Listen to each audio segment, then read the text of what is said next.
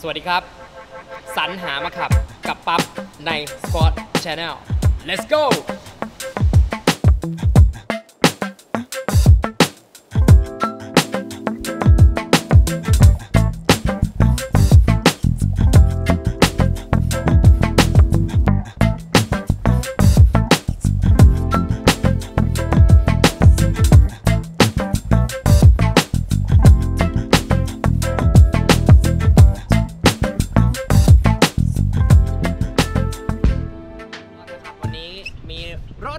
1 คันนะครับผมรถคันนี้ต้องบอกเลยว่าเป็นรถที่ผู้หญิงใช้ แล้วก็หลักกิโลน้อยด้วยเช่นกันนะครับผมรถคันนี้เป็นรถ Civic FK ปี 2018 นะครับผมเป็น Civic FK ตัวแฮชแบ็กด้วยเช่นกันนะครับก็สำหรับคันนี้เลยเนี่ยมีตกแต่งเล็กน้อยนะครับรถคันนี้เป็นสีขาวนะครับผู้หญิงใช้ใช้ค่อนข้างรักษาและถนอมพอสมควร เบื้องต้นกันเลยดีกว่าสำหรับรถคันนี้มีอะไรกันบ้างให้นอกของรถคันนี้ก่อนเลยละกันนะครับก็มีคันนี้มีตกแต่งเล็กน้อยนะครับก็คือ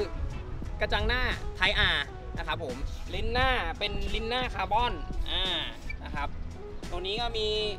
เป็นตัวไฟ LED แล้วนะครับเป็นตัวรูปทรงไฟ LED นะครับผมก็คือตัวนี้เป็นปีแรกแต่ยังไม่ได้เป็น minor change นะ เป็นปีแรกของ Civic FK เลยนะครับตัว hatchback ล้อคันนี้นะครับก็จะเป็นล้อเปลี่ยนใหม่นะครับจัดฟิตเมนต์ใหม่เลยนะครับคันนี้ต้องบอกเลยว่าคันนี้ผมเป็นคนดูแลเองกับมือนะครับล้อคันนี้เป็นล้อ ZE 40 นะฮะขอบ 18 นะครับกว้าง 8ครึ่ง off 35 เป็นออฟเซ็ตขับหน้านะครับยางเป็น Toyo อ่า TR1 นะครับผมซีรีส์ยางนะครับของคันนี้ก็จะเป็นโตโย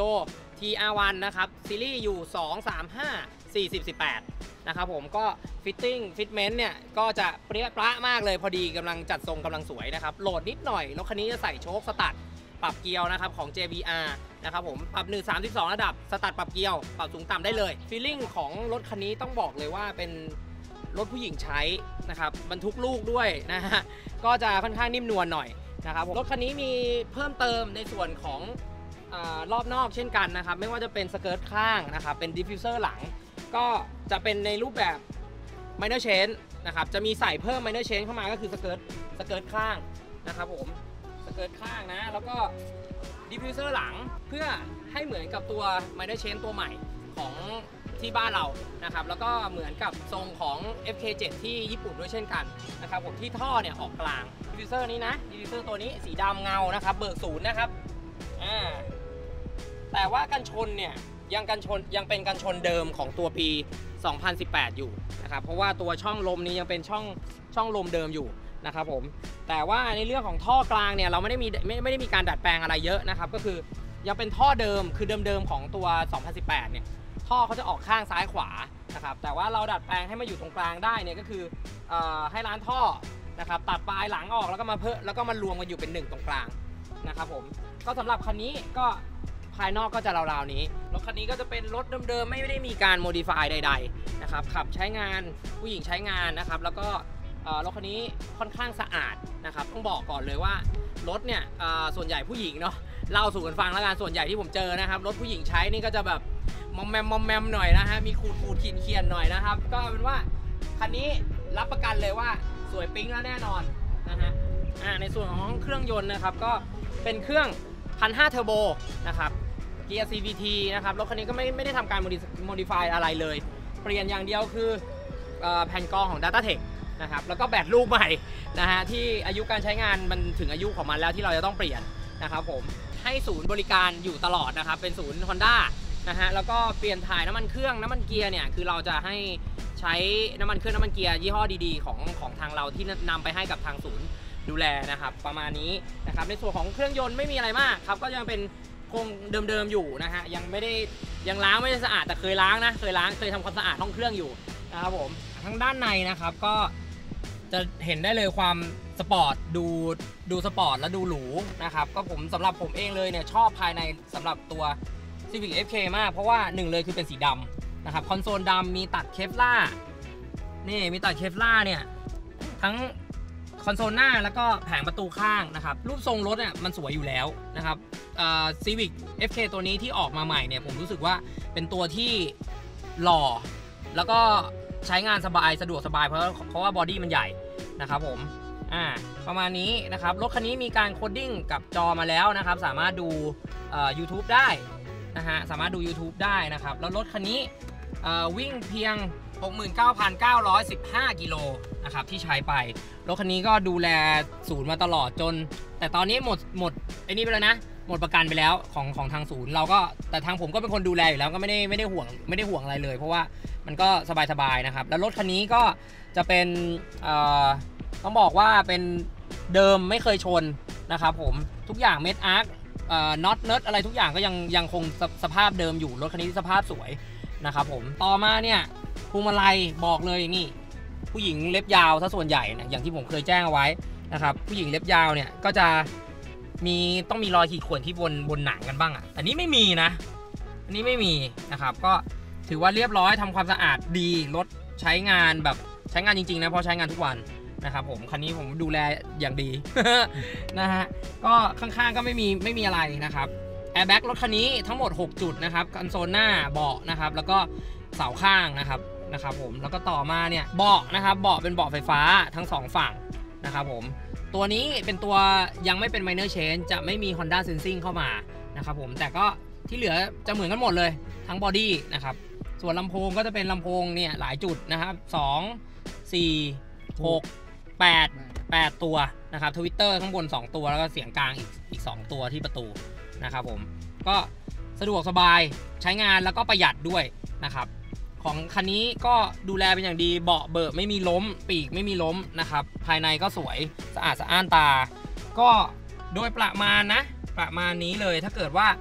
ท่านใดสนใจรถคันนี้เป็นอีกหนึ่งตัวเลือกสำหรับคุณเลยนะครับ ผมบอกเลยว่า ไม่ผิดหวังถ้ามาดูรถกับผมนะครับผมแล้วก็ ใครที่สนใจอยากจะจัดไฟแนนซ์หรือว่าอยากจะเช็คราคาก่อนอะไรอย่างนี้ติดต่อกับผมได้โดยตรงนะครับรถคันนี้เปิดราคาอยู่ที่ 890,000 บาทนะครับผมก็เราดูแลในเรื่อง after service ให้นะครับผมไม่ว่าในการเปลี่ยนถ่ายน้ำมันเครื่องครบรอบกิโลแล้วอะไรเงี้ยเราก็ดูแลให้เป็นอย่างดีนะครับผมในเรื่องของช่วงล่างเช่นกันนะครับไม่ว่าจะเป็นเรื่องระบบโชคล้อพระเบรกนะครับของเหลวอะไรต่างๆ ก็เอาเข้ามาให้ทางสคอดูแลให้ได้ได้อย่าง สบายเลยนะครับผมโอเค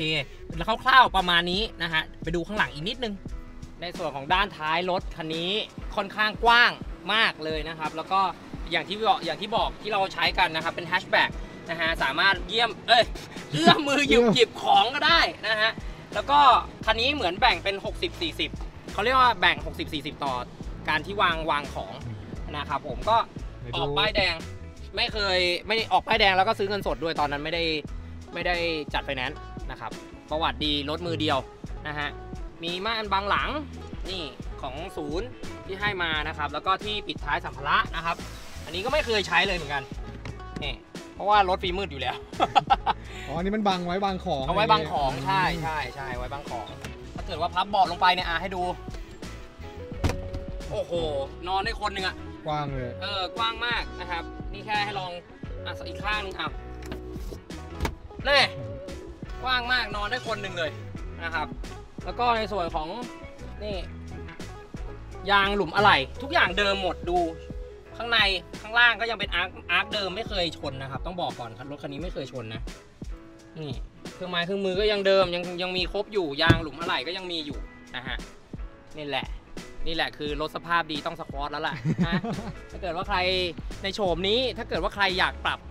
ปรุงหรืออยากแต่งเนี่ยก็สามารถเข้ามาติดต่อกับเราได้นะครับ ในโฉมนี้ก็จะมีทั้งอะเอ่อ FK7 F เอ่อ FK8 FK8 Type R ถ้าเกิดว่าใครอยากแต่งเป็น FK8 ก็มีเราก็มีสินค้าเช่นกันเปลี่ยนกระชนหน้าหลังโป่งข้างหางหลังอะไรเงี้ยครับเราก็มีหมดเรามาดูความเรียบร้อยของรถคันนี้เลยนะครับนี่ดูบันไดข้างไม่มีริ้วไม่มีรอยนะอ่าเบาะไม่มีล้มนะเห็นไหม ปรับไฟฟ้านะครับปรับไฟฟ้าหน้าหลังยกขึ้นลงได้นะครับอ่าบอกแล้วรถคันนี้ค่อนข้างปลิ้งมากนะครับ แล้วก็ดูแลรักษาดีนะครับรถมือเดียวไม่น้อยอะตอนนี้ก็อยู่ในรถของ Civic FK นะครับในส่วนของภายในรถนะครับ ก็ไม่มีปัญหาอะไรเลยอย่างที่ผมบอกรถคันนี้จะค่อนข้างเนียนนะครับ ไม่สกปรกสะอาดสะอ้านนะครับ แล้วก็ ไม่มีริ้วไม่มีรอยนะครับด้ามจับข้างก็ตามพวงมาลัยก็ตามพวงมาลัยก็ฟีลลิ่งของโชคคันนี้ไม่แข็งเลยนะครับถึงแม้รถจะโหลดเตี้ยก็ตามนี่ขับก็สบายนุ่มนวลนะครับรถก็เครื่องยนต์ไม่ได้ modify นะครับแต่ว่าคันนี้มีอีกอย่างหนึ่งคือที่ทำมาก็คือ coding ที่ตัวจอปลดล็อกจอมานะครับก็สามารถดู YouTube อะไรได้นะครับ เปิด YouTube ได้แต่ผมยังไม่ได้ต่อ Wi-Fi นะก็ต้องใช้ระบบ Wi-Fi hotspot จากไทยในโทรศัพท์เข้าไปที่ที่ตัวจอนะครับใช้งานทั่วไปรถขับสบายครับนิ่มขับง่ายนะครับรถมือเดียวแอร์เย็นเพียงพอแน่นอนเวลาขับผมขับไปต่างจังหวัดคันนี้นี่ก็สบายจริงๆนะข้างหลังก็ไม่มีอะไรมีให้ลูกมีคาร์ซีทให้ลูกนั่งด้วยต้องบอกเป็นรถพี่ปาล์มใช้เอง ใช่รถที่บ้านนี่แหละคันนี้เป็นรถที่บ้านเลยออกตั้งแต่ป้ายแดงตัวปี 2018 ก็มี pedal shift อยู่ที่นี่นะครับ paddle shift ท่อก็ไม่ได้ดังนะ เราถึงแม้เราจะทำท่อเป็น minor change แล้วก็ตาม แต่คือหม้อพักจะเป็นหม้อพักเดิมคู่นะครับแค่ต่อออกตรงกลางมาอย่างที่ที่คุยไว้ตอนแรกนะครับ ฟิล์มรอบคันเป็นฟิล์มยี่ห้อ Vox นะฮะ แล้วก็ฟิล์มความเข้มเนี่ย 60%เป็นเอ่อเซรามิก ฟิล์มเซรามิกนะครับ ข้างในเห็นชัดข้างนอก มืดนะครับข้างนอกมองไม่เห็นข้างในอะประมาณนี้ คือทำโชคมาแต่ข้างหลังมันไม่ไม่ได้เด้งเลยนะพี่ปาล์มอ่า แบบนั่งแบบนุ่มมาก โชคเป็นโชคสตัดเนี่ยโชคอืม อ่าถ้าถ้าโชคบางตัวเนี่ยอาจจะมีความกระด้าง แต่ว่าความกระด้างก็สามารถทำให้มันแบบ ไม่แข็งกระด้างก็ได้ เช่นกัน แต่อย่างโชคโชคของตัวเนี้ย JVR เนี่ย ตัวนี้คือค่อนข้างนิ่มเลยล่ะ เอาบอกตรงๆ ถ้าเกิดว่าเรารถเรายกสูงกว่านี้นะ รถคันนี้จะเป็นรถที่แบบขับใช้งานได้แบบนุ่มนวลมาก ๆ เลย เออต่นี้ที่เอาอาจจะมีความรู้สึกแบบแข็งขึ้นมานิดนึง เพราะว่าเราเปลี่ยนไซส์ล้อเป็นขอบ 18 แล้วก็ยางบางลงมันเลยจะรู้สึกว่าแบบแข็งนิดนึง อาจจะดูแบบมีเสียงนิดนึงอะไรเงี้ยแต่จริงๆแล้วมันก็ไม่ได้กระด้างหรอกนะครับสำหรับ คลิปคลิปนี้ก็ไงฝากกดไลค์กดแชร์กด subscribe ด้วยแล้วกันนะครับผม ใครที่สนใจรถคันนี้เป็นอีกหนึ่งตัวเลือก ราคาอยู่ 890,000 บาท สนใจอยากจะติดต่อก็ติดต่อมาที่เบอร์ผมได้เลยครับ 081 ครับ 886 4461 นะครับผม หรือทักมาใน inbox ก็ได้ว่าสนใจรถคันไหนนะครับผม โอเคสำหรับวันนี้ผมขอลาเพียงเท่านี้ก่อนแล้วกันนะครับ ไปละบ๊ายบาย สวัสดีครับ